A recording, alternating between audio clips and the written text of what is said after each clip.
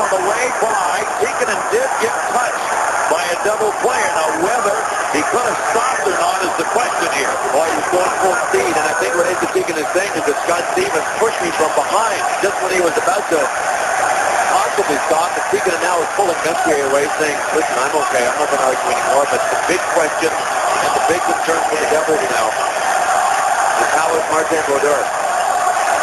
Scott Stevens did a great job of really tracking down Tikkanen, and he caught him. It looked like a clear-cut two-on-one. Grace realized he didn't have a pass back. There's the save. And there's the push by Scott Stevens. If Tikkanen had wanted to stop, I don't think he could have. He pushed him, kind of pushed him over head first.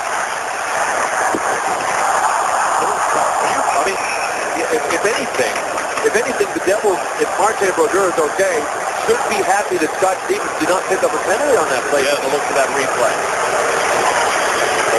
Goaltender. Try and get another look at that push. But I think Tikkanen tried to stop too, even after he got pushed. I, I know it's the Tikkanen isn't suicidal. He has no reason not to stop. I mean, at this